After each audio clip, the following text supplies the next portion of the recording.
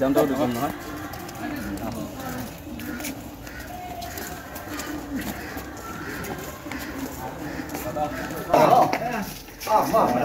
নমস্কাৰ মোৰ নাম জ্যোতিনাথ মই এইবাৰ উৰাজাহাজৰ ছবিত মানে এক নম্বৰ ৱাৰ্ডৰ পৰা নিৰ্বাচন খেলিছোঁ গতিকে আপোনালোকৰ আটাইকেইটা ভোট তাতে উৰাজাহাজৰ ছবিত পৰে আমি ঠিকে আছোঁ আমি আটাইবিলাক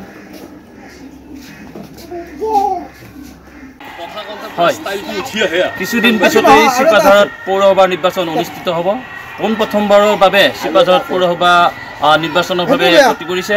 মই উপস্থিত আছোঁ এক নম্বৰ ৱাৰ্ডৰ চিপাঝাৰ এক নম্বৰ আহ, যি নিৰ্বাচন এই ৱাৰ্ডৰ দলীয় কৰ্মীসকলে নিৰ্দিষ্ট ঘৰে ঘৰে গৈ প্ৰচাৰ কাৰ্য চলোৱা দেখিবলৈ পোৱা গৈছে। মই উপস্থিত আছোঁ হীৰক জ্যোতি নাথ এজন নাট্য অভিনেতা। তেওঁ এক নম্বৰ ৱাৰ্ডৰ পৰা প্ৰতিনিধিত্ব কৰিছে। তেওঁৰ মুখেৰে কিছু মনৰ কথা আমি জানিবলৈ চেষ্টা কৰিম। হয়। প্ৰথম কথা হ'ল নমস্কাৰ জনাইছোঁ আপোনালোকক সংবাদ মাধ্যমক। মই এক নম্বৰ ৱাৰ্ডৰ নিৰ্দলীয় প্ৰাৰ্থী। আমাৰ আচলতে এই ৰাইজৰ দ্বাৰা মনোনীত প্ৰাৰ্থী আমি আচলতে। ৰাইজসকলে আমাক উৎসাহেৰে আগবঢ়াই দিছে যে ইয়াত মানে কাম কৰিবৰ কাৰণে যোগ্যজন বুলি পেলাই মোক বিবেচিত কৰিছে তাৰ বাবে মই ওচৰত সদায় কৃতজ্ঞ। ধন্যবাদ জনাইছোঁ তেওঁলোকক যে আৰু মোক আগুৱালৈ যাবৰ কাৰণে যি প্ৰেৰণা দিছে বা আজি মোৰ লগত আহি তেওঁলোকে যি সংগ দিছে তাৰ কাৰণে তেওঁলোকক অশেষ ধন্যবাদ জনাইছোঁ ৰাইজক। আপুনি যিহেতু পঞ্চায়তৰ সভাপতি আছে গতিকে এতিয়া আকৌ আপুনি ৱাৰ্ড মেম্বাৰ চাওক পঞ্চায়ত সভাপতি এজন নিৰ্বাচনী প্ৰক্ৰিয়াৰ দ্বাৰাই আহে। আৰু নিৰ্বাচনত সেইবাৰ নিৰ্বাচনত মোক জয়ী কৰাইছিল ৰাইজে। আকৌ যিহেতু মোৰ কাম কাজত তেওঁলোক সন্তুষ্ট হৈছে সেইবাবে আকৌ মোক যে এই ৱাৰ্ডৰ কাৰণে মোক মানে আগবঢ়াই দিছে। গতিকে তাৰ কাৰণে মই আগবাঢ়ি আহিছোঁ। আপুনি জিকিলে কি কি সমস্যা সমাধান কৰিব?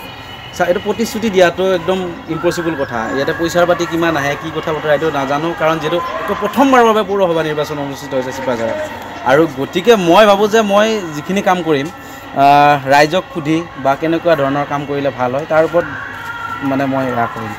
আপুনি যিহেতু এজন নাট্য অভিনেতা আছিল গতিকে এই ক্ষেত্ৰত আপুনি কি ক'ব পাৰে নহয় নাটকটো আছিলে নাটকৰ লগত এতিয়াও জড়িত হৈ আছোঁ যে আজি কৰোণা মহামাৰীৰ পিছৰ পৰা এই গোটেই জগতখনৰ কাৰণে আমাৰ কাৰণে এটা এয়া হৈ পৰিছিল এতিয়া কথাটো হ'ল আমি যিহেতু আমিও থাকিব লাগিব জীয়াই থাকিব লাগিব। গতিকে আৰু আমাক নাট্যকৰ্মী হিচাপত আমাক মানে মানুহবিলাকে যিহেতু এটা বেলেগ দৃষ্টিতে চায় গতিকে সেইকাৰণে ভাবে যে এওঁলোকে আৰু ভাল কাম কৰিব পাৰিব এই এই জগতখনলৈ আহিলে। আৰু এইটো পলিটিক্সটো এনেও মানে মানুহবিলাকে দূৰতে ভয় কৰে। নিউ জেনেৰেশ্যনটোতো মানে দূৰতে থাকিব বিচাৰে। আপুনি কিমান আশাবাদী জিকিব বুলি? মইতো হাণ্ড্ৰেড পাৰ্চেণ্ট আশাবাদী। মই জয়ী হ'ম। আৰু আমি হীৰকজ্যোতি নাথক ধন্যবাদ জ্ঞাপন কৰিছোঁ। তেওঁৰ এজন সমৰ্থক আছে। সমৰ্থকগৰাকীৰ ওচৰলৈ আমি আহিছোঁ। হয় নমস্কাৰ লগতে হয়। এই আমাৰ সাতঘৰীয়া যিটো এক নম্বৰ ৱাৰ্ড এই এক নম্বৰ ৱাৰ্ডৰ এইবাৰৰ প্ৰথম প্ৰাৰ্থী প্ৰথম প্ৰাৰ্থী মানে গোটেই মিউনিচিপালিটিৰ প্ৰথম মানে হেৰি কেণ্ডিডেট তেখেত আমাৰ হীৰকজ্যোতি নাথ তেখেতক ৰাইজৰ দ্বাৰা আমি মনোনীত কৰিছোঁ। আৰু তেখেতে যোৱা কালচোৱাত এই এবছৰ টাৰ্মৰ ভিতৰত যিখিনি কাম কৰিলে তাৰ ওপৰত মূল্যায়ন কৰি আমি এতিয়া তাৰমানে আকৌ তেওঁক জিকাবলৈ আমি আশা কৰিছোঁ সংকল্পবদ্ধ লৈছোঁ গতিকে তেখেতে তেনেকৈ জিকি পেলাই এক নম্বৰ ৱাৰ্ডৰ এজন মানে প্ৰতিনিধি। প্ৰতিনিধি হিচাপে তেখেতে ভৱিষ্যতে বহুত ভাল কাম কৰিব বুলি মই আপুনি আশাবাদী নে বাৰু হীৰকজ্যোতি নাথে আপোনালোকৰ উন্নয়ন কৰিব বুলি? নিশ্চয় আশাবাদী। আশাবাদী হোৱা হেতুকে মই তেওঁৰ লগত সোঁৱে বৱে লাগিয়ে আছোঁ। চাওঁ কি হয়।